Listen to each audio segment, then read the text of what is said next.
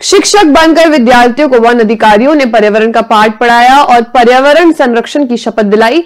स्कूली बच्चों को अनुभूति कैंप में जंगल भ्रमण करवाकर वनों का महत्व भी बताया गया। मध्य प्रदेश सरकार वन्य जीवों और पर्यावरण संरक्षण के लिए कई तरह की पहल कर रही है। इसको लेकर देवास वन मंडल प्रत्येक रेंज में स्कूली बच्चों को अनुभूति कैंप में जंगल भ्रमण करवा के वनों का महत्व बता रहा है। वन प्राणी खिवनी अभ्यारण्य में अनुभूति कैंप का आयोजन किया गया।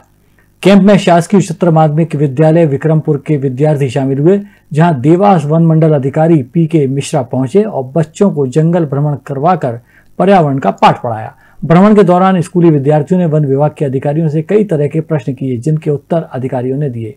कार्यक्रम के अंत में बच्चों की प्रतियोगिताएँ आयोजित की गई, जिसमें प्रथम, द्वितीय व तृतीय स्थान पाने वालों को पुरस्कार दिए गए। आने से पहले जो है पशु पक्षी और जीव जंतु, पेड़ पौधों पर हमारा जीवन कैसे निर्भर है, इसके बारे में हमें नहीं पता था। पर जब हम यहाँ आए, हमें इनके बारे में बता गया, हमें पेड़ पौधों से क्या क्या लाभ है, इनसे क्या क्या औषधियाँ बनती है, औषधि पौधों के जानकारी, उनके नाम और पशुओं के बारे में जानकारी, हम पशुओं पर कैसे निर्भर है, हमें पशुओं हम पशुओं के साथ कैसा व्यवहार करें। इसके बारे में हमें जानकारी प्राप्त हुई। साथ ही जो है, यहाँ के जो अनुभूति कैंप है, उसमें, उसकी जो थीम थी, मैं भी बाघ हूँ, उसके बारे में भी हमें समझाया गया है कि हम जंगल की वनों की वन्य प्राणियों की रक्षा कैसे कर सकते हैं? किस तरह उन्हें बचा सकते हैं? उनका संरक्षण किस तरह कर सकते हैं? दखल न्यूज़ से खास चर्चा में देवास वन मंडल अधिकारी पी के मिश्रा ने बताया कि स्कूली विद्यार्थियों को प्रकृति एवं पर्यावरण के संबंध में जागरूक करने के उद्देश्य से एमपी इको टूरिज़्म विकास बोर्ड एवं जैव विविधता बोर्ड द्वारा प्रायोजित इको अनुभूति कार्यक्रम का आयोजन किया जा रहा है। हम चाहते हैं कि समाज का हर वर्ग हर इस प्रोग्राम से जुड़े। और हम लोग चाहते हैं कि पत्रकार बंधु जैसे आप लोग आए हुए हैं, रुचि लेके बहुत ही अच्छा लगा हमें।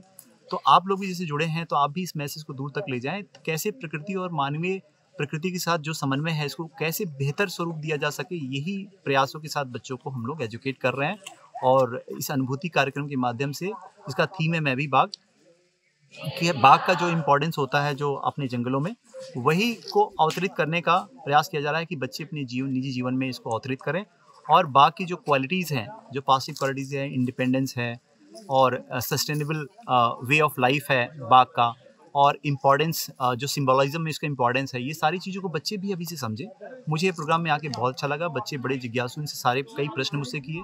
मैं जो है uh, uh, अच्छा लगा कि उनके प्रश्नों का मैं बेहतर जवाब दे सका और मुझे भी बहुत संतुष्टि हुई जब मैं उनके प्रश्नों का जवाब दिया और वो भी उनके चेहरों पर वो स्माइल देख पाया तो मुझे